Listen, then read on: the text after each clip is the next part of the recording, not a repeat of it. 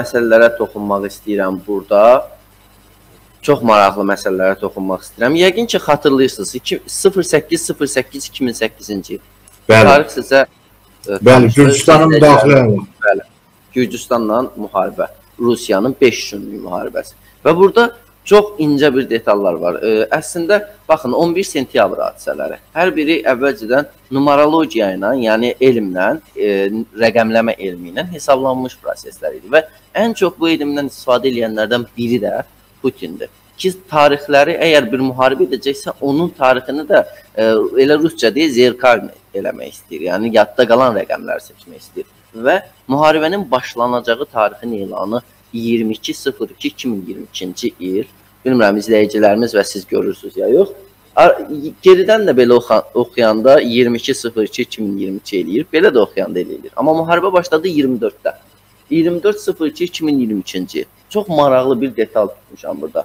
Bu rəqəmlərin toplamı 14, birin üstünə də 4 gələndə edir 5. Düzdürmü? Və burada incə bir detal var. Bütün əsir götürülən o hərbiçi e, e, ruslar ki var, onların hər biri Ukrayna əskərlərinə deyir, deyir ki, bizə deyilmişdi ki, müharibə ayın 3-ü bitəcək və evinizə qayıdacaqsınız. Amma heç nə Putinin planladığı kimi getmədi. Deməli, buradan belə bir nəticəyə gəlmək olur ki, Putin ə, ayın 3-də, yəni 03-03-2022-ci ildə müharibənin bitəcəyini gözləyirdi. Belə təsəvvür edirdi, düzdürmü?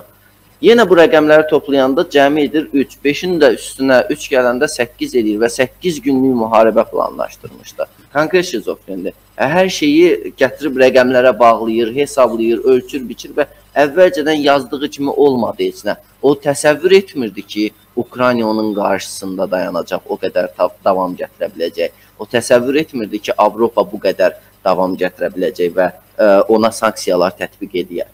Düzdür, hər şeyi nəzərə almışdı. Mən burada bir məsələyə də toxunmaq istəyirəm Xəqani bəy. Deməli 1938-ci ildə mən istəyirəm hər şeyə biraz tarix üzərindən baxaq da. 1938-ci ildə 12 martda Almaniya Avstraliyanı işğal etdi. Və bütün dünya buna susdu. Ardınca 3 il sonra 2-ci Dünya müharibəsi başlayır. Düzdür, elə o dövrlərdə başlamışdı 2-ci Dünya müharibəsi, elə 38-dən bu tərəfə başlayırdı. Başlaya-başlaya gəldi. Bu bir başlanğıc idi.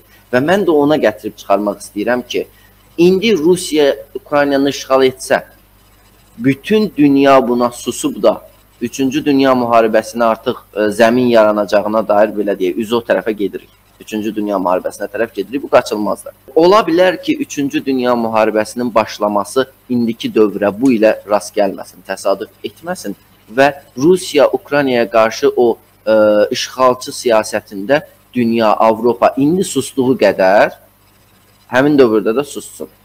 Efirdən öncə də dedim. Həm rus politoloqlarının, həm türk politoloqlarının ə, çıxışlarını izləyirdim. Və orada hər zaman dünyada belə qərb yönümlü tanınmış o türk politoloqlarından biri Türkiyənin ən böyük televiziyalarının birində çıxış eləyirdi. Mən dedim ki, bu qərb tərəfdən, Ukrayna tərəfdən çıxış eləyəcək, amma yox. İstiqaməti yönəltdi Ukrayna tərəfə. Və dedi ki, sizcə Ukrayna e, tam-tamına mı günahsızdır? Ukraynanın heç mi günahı yoxdur? Və xəritə üzərində göstərdi. Bilirsiniz, orada Krım söhbəti var. Krıma 80 min ordunun gətirilməsi, yerləşdirilməsi məsələsi var və o Krıma 80 min ordunun gətirmə, o 8 il ə, Krımın suyunu kəsib axı. 8 il susuz qalıblar. O söhbətlərdə deyir ki, yəni haqlı çıxartdı bir növ Rusiyanı ki, müharibəyə zəmin yaradan Zelenski olub və mən artıq orada necə deyirlər, loru dildə desək, matım mutum qurudu ki, axı bu qərb yönümlü və ə, e, qərbə meylli bir politoloq, hamının belə tanıdığı bir insan gəldi Rusiya tərəfdən çıxış elədi və artıq məndə belə bir e, təəssüratlar yaranır ki, bəlkə də Qərb özü öz o beyin mərkəzlərini fokuslayır o məsələyə ki, sabahları e, bu sudan belə deyək, quru çıxa bilsin də, desin ki, hə, Zelenskinin də hardasa günahı vardı.